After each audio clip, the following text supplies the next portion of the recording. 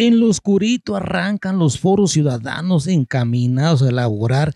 el famoso, deseado y requerido Plan de Ordenamiento Territorial de Guanajuato Capital a cargo del Instituto Municipal de Planeación que dirige Juan Carlos Delgado Zárate. Pues hasta el momento nadie sabe, nadie supo por qué conductos se convocó a las personas que habrán de tomar parte en tan importante trabajo. Verdaderamente enriquecedor que esté gente de comunidades, que esté gente de colonias, porque les vamos a hacer trabajar en que nos aporten sus ideas para trabajar en dos ejercicios muy importantes de planeación. Contento por iniciar este primer taller eh, de dos procesos vitales para Guanajuato Capital, como es el Plan Municipal de Desarrollo 2050 y su componente también en el tema territorial, que es el Programa Municipal de Desarrollo Urbano y Ordenamiento Ecológico Territorial, también en un horizonte 2050.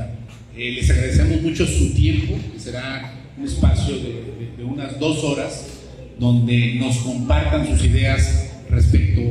a lo que ven a futuro en Guanajuato Capital, este tipo de, de proyectos que deberían aterrizar territorialmente y, también en, el tema de todos los rubros, en lo social y, en lo económico. Gracias. Sí, me da mucho gusto la participación que se ve aquí, la convocatoria,